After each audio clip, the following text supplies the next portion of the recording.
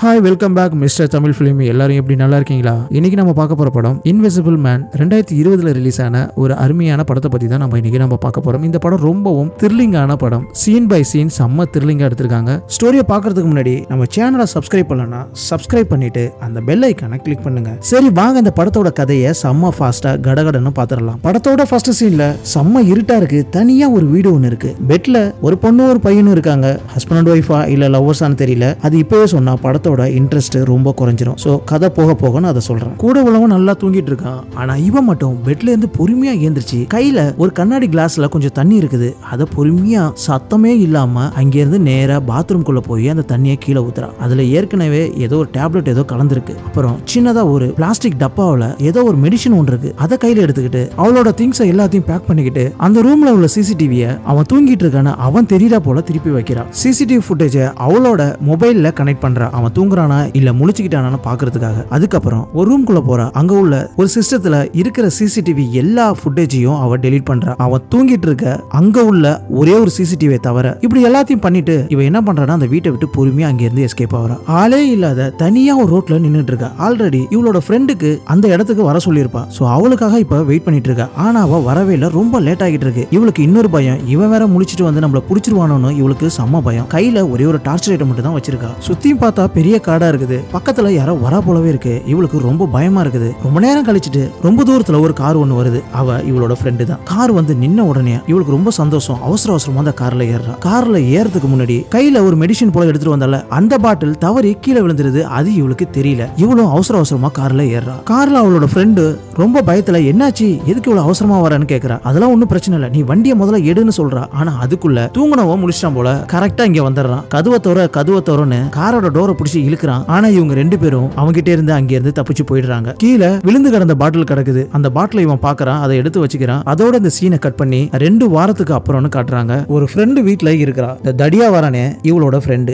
அங்கதான் இருக்கிறா. இவ நைட்டு ஃபுல்லா தூங்காம வெளியே நின்றுட்டு முழிச்சு முழிச்சு பார்த்துட்டு இருக்கா. ஏதோ பேரஞ்ச அந்த பயத்திலே இருக்கா அவ. அவன் அங்க இருந்து வந்து நீ கண்ணை மூடி தூங்கு. நீ அதை நினைச்சுக்கிட்டே பயந்துகிட்டே இருக்காத. சரி அதோ வெளியில ஒரு லெட்டர் பாக்ஸ் இருக்கு பாரு. அதுல எதனா லெட்டர் இருந்துச்சுன்னா போய் எடுத்துட்டு வா அப்படின்னு சொல்றான். உடனே இவளும் பயத்தோட என்னால முடியும்னு சொல்லிட்டு டோரை ஓப்பன் பண்ணி பொறுமையா ரோட்டை அந்த பக்கமும் இந்த பக்கமும் பார்த்துக்கிட்டே அந்த பாக்ஸ் கிட்ட போய் அதை ஓப்பன் பண்ணலான்னு பார்க்கும்போது சம்மந்தமே இல்லாம ரோட்ல ஒருத்தவன் அவன் பாட்டுக்கு ஜாக்கிங் போறான். அவனை பார்த்து அலறி அடிச்சுக்கிட்டு வீட்டுக்கு ஓடி வந்துடுறான். அடுத்த நாள் லேப்டாப்ல ஏதோ பார்த்துக்கிட்டு இருக்கா. இவ லேப்டாப்ல உள்ள கேமராவை கூட லிப்ஸ்டிக்கை வச்சு அழிக்கிறா. அந்த கேமரா கூட இவளுக்கு பிடிக்கல. சிசிடிவி பார்த்தாவே செம்மையா பயப்படுறா. அந்த நேரம் காலிங் பில் அடிக்கிற சவுண்டு கேக்குது. தடியன் தான் வந்து கதுவை ஓபன் பண்றான். இவ கார்ல அழைச்சிட்டு வந்திருப்பாள. அவ தான் வந்திருக்கா. தடியனுக்கும் அவ ஃப்ரெண்டா இருப்பா போல. ஆனா தடியனுக்கு கல்யாணம் ஆகி குழந்தைலாம் இருக்குது. ஒரு பொண்ணு ஒருத்தி இருக்கா. அவ ஃப்ரெண்டு வந்த உடனே இவ நீங்க வர வேணாம்னு சொன்னல உன்னை ஃபாலோ பண்ணிக்கிட்டே அவன் இங்க வந்துட்டா நான் என்ன பண்றது? அதுக்கு அவளோட ஃப்ரெண்டு நான் அதுக்காக வரல. உங்ககிட்ட ஒரு முக்கியமான விஷயத்த சொல்ல தான் நான் வந்திருக்கேன். அதை சொல்லிட்டு நான் இங்க இருந்து போயிடுறேன். உடனே அவ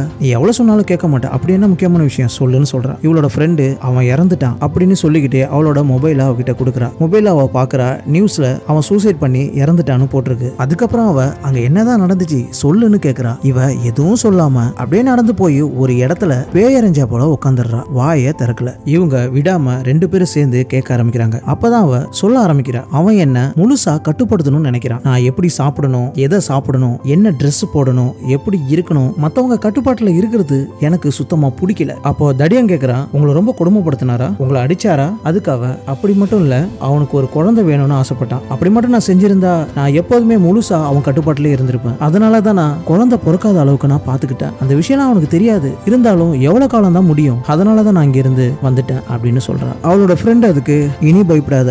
நீ எங்க கூட இருக்க? அவன் போயிட்டான். எதுக்கும் கவலைப்படாதன்னு சொல்றான். மறுநாள் காலையில எதுக்கும் பயப்படாம வெளியே வரா. வெளியே வந்து அந்த லெட்டர் பாக்ஸ்ல உள்ள லெட்டர் எல்லாத்தையும் எடுத்துட்டு வந்து இந்த தடியன்ட்ட கொடுக்குறா. அப்ப இவளுக்கும் ஒரு லெட்டர் ஒன்று வந்திருக்கு. அதை அந்த தடியா அவங்க கிட்ட கொடுக்குறா நாங்க இருக்கிறது யாருக்கும் தெரியாது. எனக்கு யார் லெட்டர் அனுப்பிச்சிருப்பான்னு ரொம்ப ஆச்சரியமா அந்த லெட்டரை ஓபன் பண்ணி பார்க்கறா அதை பார்த்துட்டு அப்படியே வாயடிச்சு நிக்கிறா. அந்த சீன் அப்படியே கட் பண்ணி அடுத்த சீன் சிட்டிக்குள்ள காட்டுறாங்க. அவ ஃப்ரெண்ட் அழைச்சிட்டு வந்திருக்கா? ஆக்சுவலாக அந்த லெட்டரை போட்டது இறந்து போயிருப்பால அவனோட லாயர் தான் இந்த லெட்டரை போட்டு வர வச்சிருப்பான். ஸோ இவங்க ரெண்டு பேரும் இப்போ வந்திருக்காங்க. வந்த உடனே இவன் உங்களுக்காக செய்ய வேண்டிய சில கடமைகள்லாம் செய்ய சொல்லி என்னோட பிரதர் சொல்லியிருக்காரு. பிரதர்னா இறந்து போனால அவனை தான் இவன் சொல்றான். ஸோ அவனோட ஃப்ரெண்டு அண்ட் லாயர் எல்லா வேலையும் அவன் தான் பார்க்குறான் போல. ஸோ இப்போ அந்த லெட்டரை படிக்க ஆரம்பிக்கிறான். ஆரம்பிக்கிறதுக்கு முன்னாடியே ஹீரோனோட ஃப்ரெண்டு வேணாம் அதை படிக்க வேணாம். அது ஒரு மெயில் அனுப்பிச்சிருங்க நாங்கள் பார்த்துக்கிறோம்னு சொல்கிறான் ஏன்னா அந்த லெட்டரில் உள்ளது அதை படித்து இவன் மறுபடியும் அப்செட் ஆகிடுவான்னு பயந்துக்கிட்டு அப்படி சொல்கிறான் அதுக்கு அந்த லாயர் என்ன சொல்கிறான்னா அவர் எல்லாத்தையும் கேட்டுக்கிட்டு தான் இருக்காரு. அவர் அங்கே தான் உட்காந்துருக்காரு அப்படின்னு அவன் சொன்ன உடனே அங்க யாருமே இல்ல. ஆனா இவங்க ரெண்டு பேரும் திரும்பி பாக்குறாங்க சோ அந்த லெட்டரை இப்ப படிக்கிறான். அந்த லெட்டர்ல என்ன போட்டிருக்குன்னா அவரோட இறுதி விருப்பப்படி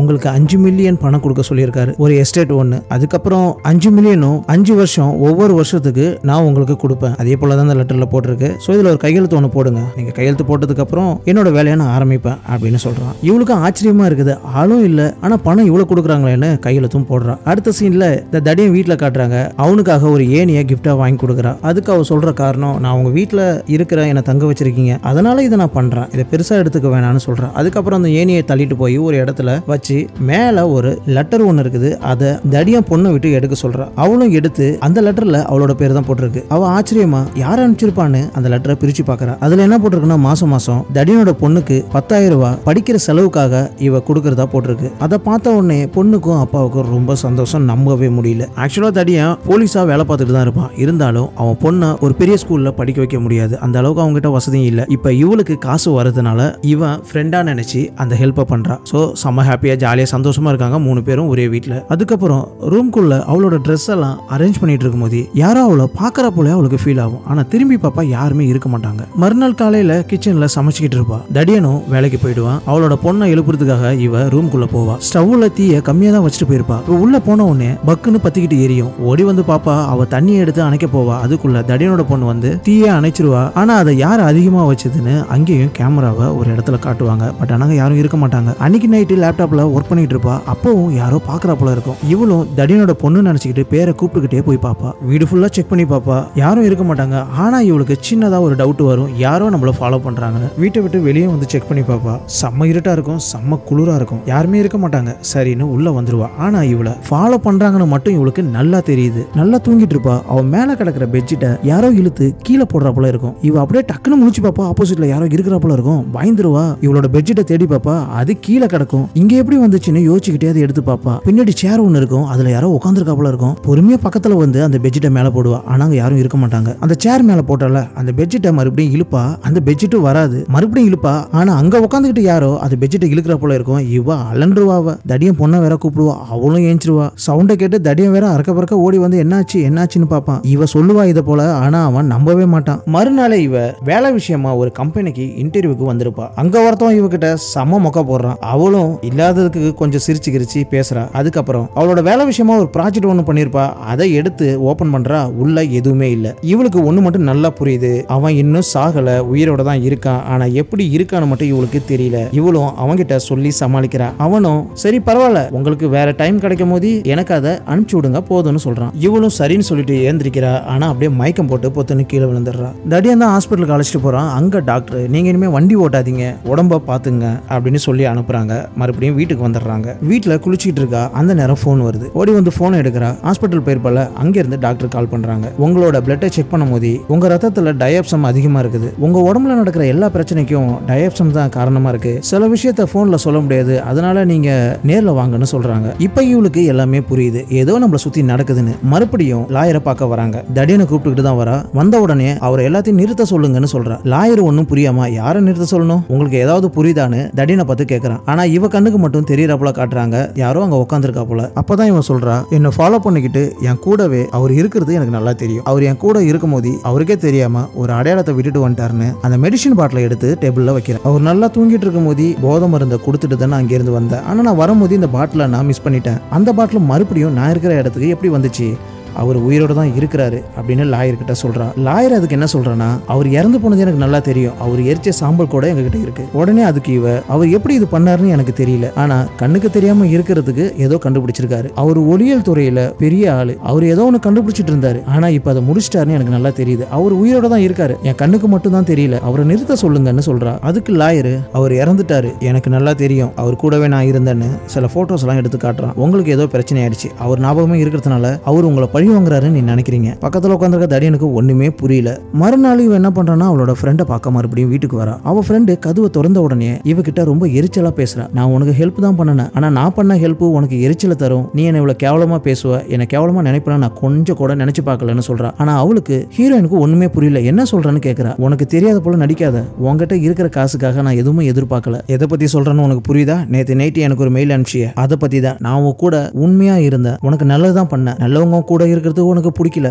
இனிமே எப்போதுமே என்ன தேடி வராத. என்கிட்ட இருந்து உனக்கு எந்த ஹெல்ப்பும் கிடைக்காதுன்னு சொல்லி அவளை ரொம்ப மோசமா திட்டி அனுப்புறா. ஆக்சுவலா இவளுக்கு ஒண்ணுமே புரியல. நான் எதுவுமே பண்ணல. என்ன மெயில் அப்படி இப்படின்னு புலம்புறா. வீட்டுக்கு போன உடனே அவள் லேப்பை ஓப்பன் பண்ணி அவள் மெயிலை செக் பண்ணும்போது தான் தெரியுது சென்டிங்ல இவன் அனுப்பிச்சா போலயே ஒரு மெயில் ஒன்று போயிருக்கு. ஸோ அதை படிச்சு பார்க்கறா ரொம்ப கேவலமா இருக்குது. அதை படிச்சு பார்த்துட்டு அதுக்கப்புறம் பயங்கரமா அழுகுறா ஆனா இதை எல்லாத்தையும் பக்கத்துல யாரோ பார்த்துக்கிட்டு இருக்கா போலயே அவளுக்கு ஃபீல் ஆகுது. கேமராவும் அப்படிதான் மூவ் ஆகுது இந்த படத்துல. அப்போ தடியனோட பொண்ணு அங்க வரா. வந்து இவளுக்கு ஆறுதல் சொல்றா. இன்னைக்கு நைட்டு நம்ம அப்பாவை வெளியே அனுப்பிச்சிட்டு கேக்கு வாங்கி நம்ம ரெண்டு பேரும் சாப்பிடலாமான்னு சந்தோஷமாக தான் சொல்கிறா அந்த நேரம் அவளை பல்லார்னு ஒரு அற விடுறாங்க. ஆனால் யாருன்னே தெரியல. இவ பயந்துகிட்டு அவங்க அப்பாவை கூப்பிடுறா. இவளுக்கும் ஒன்றும் புரியல. ஹீரோயினுக்கும் ஒன்றும் புரியல. ஆனால் அந்த பொண்ணு சின்ன பொண்ணு இவ தான் அடிச்சிட்டான்னு தப்பா நினச்சிக்கிறா. தடியனும் வேகமாக ஓடி வந்து என்னாச்சு என்னாச்சுன்னு கேட்குறா ஆனால் ஹீரோயின் சொல்கிறா நான் அப்படி பண்ணல. நான் பொண்ணை ரொம்ப நேசிக்கிறேன். நான் அடிக்க மாட்டேன். அவர் தான் அதை பண்ணுறாரு அவர் தான் அதை அடிச்சிருப்பாரு. அவர் அதை தான் விரும்புவார். நான் அப்படி பண்ணலன்னு சொல்கிறா ஆனால் தடியை நம்பவே இல்லை. அவன் பொண்ணை அழைச்சிட்டு அங்கேருந்து போயிடுறான். இப்போ என்ன பண்ணுறான்னா வீட்டை சுற்றி சுற்றி நீங்கள் இப்ப எங்க இருக்கீங்க? வாங்க அந்த சின்ன பொண்ணை அடிக்க வேணாம். என்ன அடிங்க? வெளியே வாங்கன்னு கத்துறா. காப்பி பவுடர் போல ஏதோ ஒன்று இருக்கு. அந்த பாக்கெட்டை பிரிச்சு கீழே தரையில கொட்டுறா. அப்படியே ஒரு இடத்துல உட்காந்துருக்கா அவன் வந்தானா கண்டிப்பா கால் தடம் அதுல தெரியும்னு சொல்லிட்டு ஆனா ரொம்ப நேரம் உட்காந்துருக்கா ஆனா அங்க யாரும் வரா போல தெரியல. பட் ஆனா அந்த ரூம்ல தான் அவன் இருக்கான். இவ உடனே என்ன சொல்றானா நீங்க என்ன நினைச்சாலும் உங்களால பண்ண முடியும். உங்ககிட்ட இருக்க பணத்தை வச்சு. நீங்க நினைக்கிற பொண்ணை அடைஞ்சிங்க. ஆனா என்னால அப்படி இருக்க முடியாது. அதனால என்ன கஷ்டப்படுத்துவீங்க? நான் ஒரு சிட்டி பொண்ணு. ஒரே ஒரு நைட்டு உங்ககிட்ட நான் தடமாறிட்டேன் அதனால இவ்வளவு கஷ்டப்படணுமா?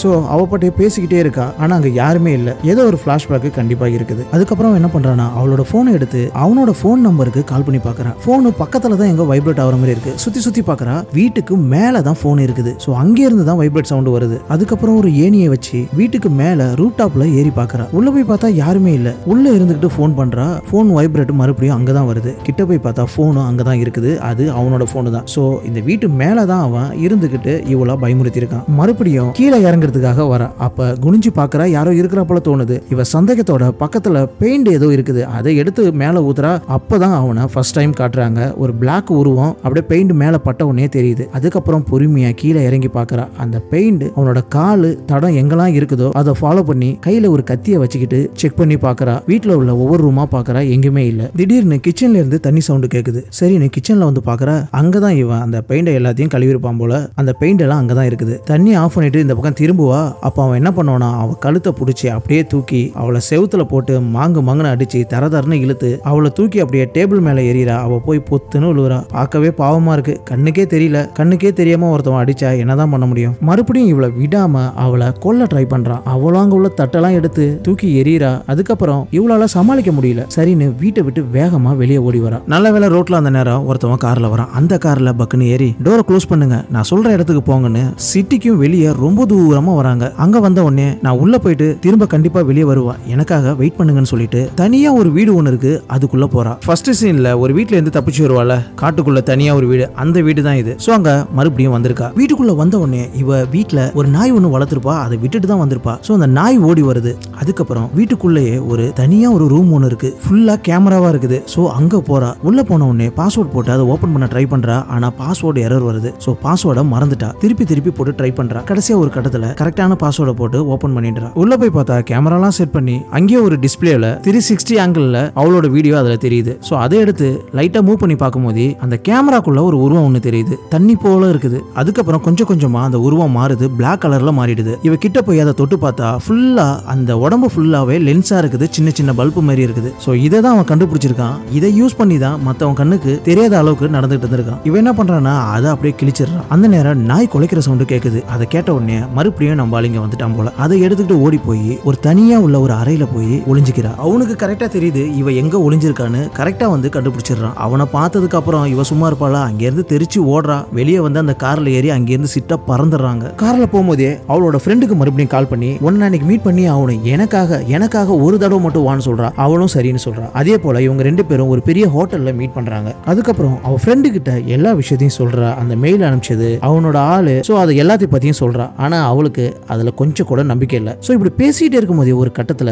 அவளோட ஃப்ரெண்டோட கழுத்து தன்னால அறுக்குது. அதை அறுக்கிறது யாருன்னு நமக்கு படம் பார்க்குற நமக்கு தெரியும். ஹீரோயினுக்கும் தெரியும். ஆனா அங்க உள்ளவங்களுக்கு யாருக்குமே தெரியாது. அங்க உள்ளவங்க எல்லாருமே இவ தான் அவளை கொலை பண்ணிட்டான்னு நினைக்கிறாங்க. அதுக்கப்புறம் இவ எவ்வளோ அழுவுறா? நான் இல்லைன்னு சொல்றா? இதை நம்புவாங்களா? போலீஸ் வருது. இவ்வளோ அரெஸ்ட் பண்ணுது. ஆனா அவ மறுபடியும் மறுபடியும் அவளை நான் கொல்லல. அவன் தான் கொன்னான் அவன் தான் கொன்னான்னு அதே திருப்பி திருப்பி சொல்ல இவளை நேரா ஹாஸ்பிட்டலுக்கு அழைச்சிட்டு வந்துடுறாங்க. இவ அதே சொல்லிட்டு இருக்கிறதுனால இந்த ரூம்ல தான் இருக்கா? இங்கதான் இருக்கா? அப்படின்னு மறுபடியும் மறுபடியும் சொல்ல சொல்ல டாக்டர் என்ன பண்றாருன்னா டக்குன்னு ஒரு மயக்க ஊசியை போட்டுட்டு அங்க இருந்து போயிடுறாரு. மறுநாள் இவளை விசாரிக்கிறாங்க. இவளோட ஃப்ரெண்டு அந்த தடியனும் அங்க இருக்கான். அவனும் போலீஸ் தானா? இவ வீட்டுல இருந்து வெளியே வருவாள்? அந்த சிசிடிவி ஃபுட்டேஜ் எல்லாம் உங்ககிட்ட காட்டு. இது நீங்க தானே வந்தீங்க? மெயில் அனுப்பிச்சது உன் ஃப்ரெண்டுக்கு மெயில் அனுப்பிச்சு திட்டுனது எல்லாமே நீங்க தானே எல்லாத்தையும் விசாரிக்கும் போது அவ எல்லாத்துக்குமே ஒரே வார்த்தை சொல்றா. எதுவுமே நான் பண்ணல. எல்லாமே அவன் தான் பண்ணான் அவன் இங்கே தான் இருக்கான் அப்படின்னு மறுபடியும் சொல்ல சொல்ல இவங்களுக்கு ஒண்ணுமே புரியல. அன்னைக்கு நைட்டு அந்த ஹாஸ்பிட்டல்ல உள்ள ஒரு டாக்டர் வராங்க. உங்க உடம்பெல்லாம் செக் பண்ணி பார்த்தோம். ஒன்றும் பிரச்சனை இல்லை. ஆனா கொஞ்ச நாளுக்கு முன்னாடியே உங்க பிளட்டை செக் பண்ணாங்க. நீங்கள் கர்ப்பமாக இருக்கீங்க. உங்களுக்கு அது தெரியுமா? அப்படின்னு அவங்க சொன்ன உடனே இவளுக்கு ரொம்ப ஆச்சரியமாயிடுச்சு. அப்படிலாம் இருக்க வாய்ப்பே இல்லைன்னு சொல்கிறா அதுக்கு அந்த டாக்டர்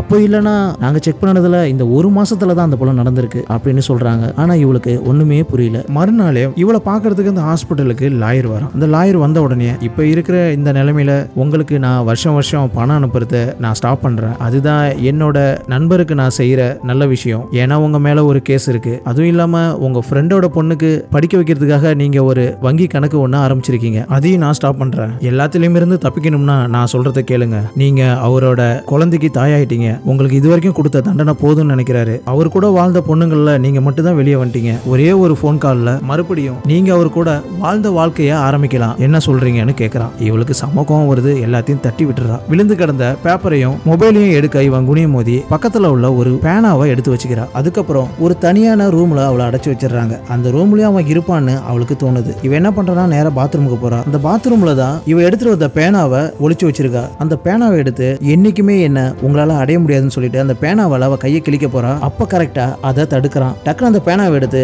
அவன் நெஞ்சில ஒரே குத்து. அப்ப லைட்டா தெரியறான். அவன் உருவம் மறைஞ்சு மறைஞ்சு தெரிய ஆரம்பிக்குது. ஆனா அவ விடாம அந்த பேனாவால அவன் நெஞ்சில செம்மையா குத்து குத்துன்னு குத்துறான் அந்த நேரம் அங்க ஒரு போலீஸ்காரன் வந்துடுறான். வந்து ஒழுங்கா படு ஒழுங்கா போய் தூங்கு அப்படின்னு சொல்றான். போலீஸ்காரனுக்கும் அவனோட உருவம் தெரிய ஆரம்பிக்குது. அப்ப போலீஸ்காரன் அவன் கூட சண்டை போடுறான். ஆனா அவன் போலீஸ்காரனே மட்டையாக்கிடுறான். இவன் என்ன பண்றான்னா அந்த கேப்ல ஹாஸ்பிட்டலில் விட்டு தப்பிக்க ஆரம்பிக்கிறா. அப்போ ஆப்போசிட்ல நிறைய போலீஸ் வராங்க. அவளை பிடிக்க ட்ரை பண்றாங்க. ஆனா இவன் என்ன பண்றான்னா அங்க வந்து அங்க உள்ள போலீஸ்காரங்க எல்லாருமே நாசம் பண்றான். சவுண்டு கேட்டு ஒவ்வொரு போலீஸ்காரங்களும் வரானும். வர்றவங்க எல்லாரும் சாகுறானுங்க. எல்லாரையும் போட்டு தள்ளுறான். ஆனா இவன் எவ்வளவு சொல்றா? அங்கதான் நிக்கிறான். ஆனா போலீஸ்காரன் கண்ணுக்கு தெரிஞ்சாதானே அவனை காலி பண்ண முடியும்? நடக்கல. அவன் அங்க இருந்து தப்பிக்கிறான். இவன் என்ன பண்றானா கையில ஒரு துப்பாக்கியை வச்சுக்கிட்டு அவன் எப்பெல்லாம் விசிபிள் ஆகிறானோ அப்பெல்லாம் இவன் ஷூட் பண்ணுறான் ஆனா அவன் தப்பிச்சு வெளியே போயிடுறான். இவனும் என்ன பண்றானா அந்த போலீஸ் ஸ்டேஷனை விட்டே தப்பிக்கிறா. அங்க உள்ள போலீஸ்காரங்களுக்கு அது தெரிஞ்சு இவ்வளவு துரத்த ஆரம்பிக்கிறாங்க. வெளியில செம்ம மழை பெஞ்சிட்டு இருக்கு. நிறைய கார் பார்க்கிங்ல கார் நின்றுட்டு இருக்கு. அங்க அவ மறைஞ்சு மறைஞ்சு அவளை ஷூட் பண்ண ட்ரை பண்றா. போலீஸ் வேற இவளை தேடிக்கிட்டு அங்க வந்துடுறாங்க. இவனும் என்ன பண்றான்னா கையில துப்பாக்கி வச்சுக்கிட்டு அங்க உள்ள போலீஸ்காரங்க எல்லாரையும் ஷூட் பண்றான் இப்ப போலீஸ்காரன் கணக்குக்கு இவ தான் எல்லா போலீஸ்காரங்களையும் கொண்டு இருக்கான்னு வரும். அதுக்கப்புறம் சுத்தமா ஜெயில விட்டு வெளியே வந்துடுறாங்க. அவன் ஒரு கார் எடுத்துட்டு போறத பாக்குறான் அப்போ ஒரு கார் வந்து இன்னொரு கார் மேல மோதுது. அந்த காரை எடுத்துக்கிட்டு இவ அவனும் ஃபாலோ பண்றா. அப்ப அந்த போலீஸ்காரனுக்கு கால் பண்றா. நீ இப்ப எங்க இருக்க? உன் பொண்ணு உயிருக்கு ஆபத்து. அவன் உன் பொண்ணை கொண்டுடுவான் என் கூட உள்ளவங்க எல்லாரையும் அவனுக்கு கொல்றதுதான் வேலை. உன் பொண்ணை போய் பாருன்னு சொல்றான். அதுக்கு அந்த தடியன் நீ எனக்கு கால் பண்ணக்கூடாது. நீ ஒரு கைதி. அப்படின்னு சொல்லிட்டு போனை கட் பண்ணிடுறான். இப்ப அந்த தடியன் பொண்ணு அவ வீட்டுல தூங்கிட்டு இருக்கா. கரெக்டா கண்டுபிடிச்சிட்டா யாரோ வந்திருக்காங்கன்னு. அவ கையில எப்போதுமே ஸ்ப்ரே வச்சிருப்பா. அதை எடுத்து அடிக்கிறா. டக்குன்னு அவ கழுத்தை பிடிச்சி கீழே தள்ளி அவளையும் கொல்ல ட்ரை பண்றான். நல்ல வேலை தடியனும் வீட்டுக்கு வந்துடுறான். துப்பாக்கி எடுத்துட்டு வீட்டுக்குள்ள வரான். உனக்கு ஒன்னும் ஆகலன்னு வரான். தடியனும் போட்டு சம்மடி அடிக்கிறான். கண்ணுக்கு தெரிஞ்சாதானே அவனை ஏதாவது பண்ண முடியும். அவன் தான் கண்ணுக்கே தெரியலையே. என்ன பண்றது? தடியன் அடிச்சு மூஞ்சி கிஞ்செல்லாம் உடைச்சி அவன் மயக்கத்துல போயிடுறான். இவ பொண்ணு வேற பயங்கரமா கத்துறா. கரெக்டா ஹீரோயினும் வந்துடுறான் அவன் மேல புகையை அடிச்சு விட்டு அவனை துப்பாக்கியில டப்பு டப்புன்னு சொல்றான் அதுக்கப்புறம் என்ன? அவன் அப்படியே பொத்துன்னு கீழே விழுந்துடுறான். இப்பதான் அவன் தலையில உள்ள மாஸ்கை கழட்டி பார்த்தா அது வேற யாரும் இல்ல. இந்த லாயரு லாயருன்னு ஒருத்தன் வருவானா அவன் தான் இப்ப இந்த மாஸ்கை கண்டுபிடிச்சவன்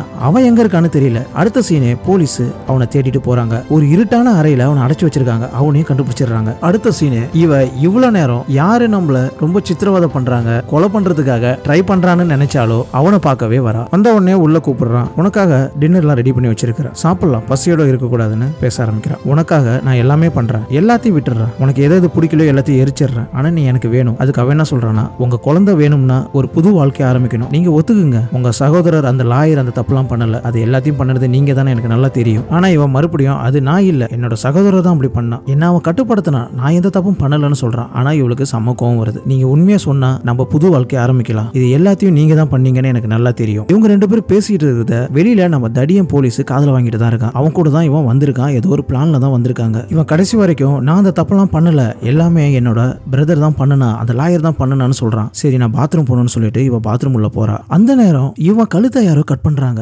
யாருன்னே தெரியல. நான் கூட அந்த லாயரா இருப்பானு நினைச்சேன். ஆனா அவன் தான் இறந்துட்டானே. இப்ப அந்த மாஸ்க போட்டுக்கிட்டு இவன் கழுத்தை யார் கட் பண்ணாங்கன்னு தெரியல. இவன் பாத்ரூம்குள்ள இருந்து வெளியே வந்து பார்த்தா இவன் ரத்த வெள்ளத்துல கிடக்குறான். பார்த்த உடனே பயங்கரமா அலறா. உடனே ஆம்புலன்ஸுக்கு ஃபோன் பண்றா போலீஸ்க்கு இன்ஃபார்ம் பண்றா. இவ கத்துற சத்தத்தை கேட்ட உடனே தடியனும் அலறி அடிச்சுட்டு ஓடி வரான் இவ அப்பதான் கேமரா இருக்கும் வெளியில அது தெரியற வரைக்கும் அழுதுகிட்டே இருக்கா. கேமரா மறைஞ்ச உடனே ஸ்டைலா ஒரு சேர்ல உட்காந்து அவனா பாக்குறா. சோ இந்த கொலையை இவ தான் பண்ணிருப்பாளோ அந்த மாஸ்க போட்டு இவ தான் பண்ணிருப்பாளோன்னு அந்த நேரத்துல ஒரு டவுட் வந்துச்சு. தடியனும் ஓடி வரானா என்னாச்சுன்னு கேக்குறான் நான் நல்லா இருக்கேன் அவன் தற்கொலை பண்ணிக்கிட்டான்னு சொல்றா. அவன் கழுத்து அவனே அறுத்துக்கிட்டான். அது கேமராவில் ரெக்கார்ட் ஆயிருக்கும் அப்படின்னு சொல்றா. நம்ம தடியன் இவ கையில ஒரு பேக் வச்சிருக்கான் அதை பாக்குறான். அந்த பேக் உள்ள அந்த மாஸ்க் இருக்குது அந்த பிளாக் கலர் ட்ரெஸ் இருக்குது. ஸோ அவனை கொலை பண்ணனது இவ தான் அந்த ட்ரெஸ்ஸை மாட்டிக்கிட்டு இவ தான் கொலை பண்ணியிருக்கா. தடியனுக்கும் அந்த டவுட் வருது. ஆனால் தடியா அவகிட்ட அதை காட்டிக்கல. காட்டிக்காம இருக்கான். இவளும் அங்கிருந்து நடந்து வெளியே வரா. அதோட இந்த படமும் முடியுது. த இன்விசிபிள் மேன் ரெண்டாயிரத்தி இருபது. இந்த படம் உங்களுக்கு பிடிச்சிருந்துச்சுன்னா நம்ம சேனலை சப்ஸ்கிரைப் பண்ணுங்க. அந்த பெல் ஐக்கானை கிளிக் பண்ணுங்க. மறுபடியும் வேற ஒரு நல்ல படத்தில் பார்க்கலாம். தேங்க்யூ